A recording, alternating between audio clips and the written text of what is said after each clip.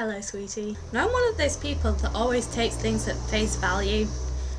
So, when this whole Doctor Who storyline started, the River Song was the Doctor's wife, I just took that as okay, she's the Doctor's wife. That's fine. I'm okay with that. That's what the writing says, and I'm just going to accept that. And then everyone started with all these theories about who she was, and I was like, no, but I thought we knew that she was the Doctor's wife, right? But no.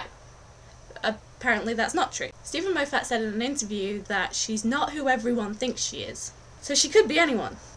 I mean, we've tried to figure out these things before, and we're never right. Now, he specifically said that she's not his mother, which I'm kind of glad at because, you know, she's a bit flirty and she's kind of got the feeling that there's something going on somewhere.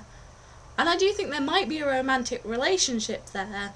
And I know everyone's rejected this idea because Matt Smith is so much older than actress who plays River Song.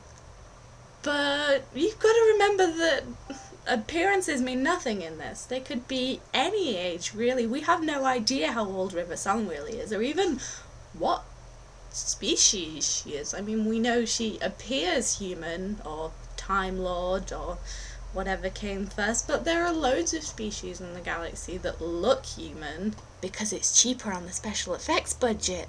I like the theory that she's Lucy Saxon, especially if it means bringing Captain Jack back. I think that will keep my mother very happy. She's got quite a crush on John Barrowman. She's so cute. I love my mum. My mum.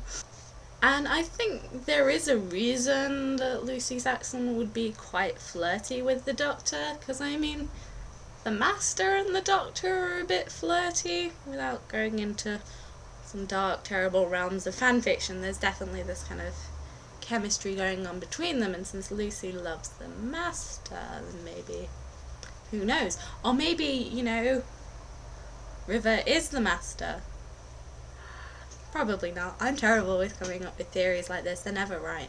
Pretty boy, you're with me. I love that she calls him pretty boy. It's just really cute. Especially when he's like, oh, I'm pretty boy. Random sidetrack. I think my favourite River Song quote is, I'm River Song. Check your records again.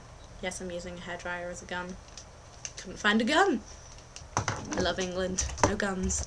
Guns are bad. End public service announcement.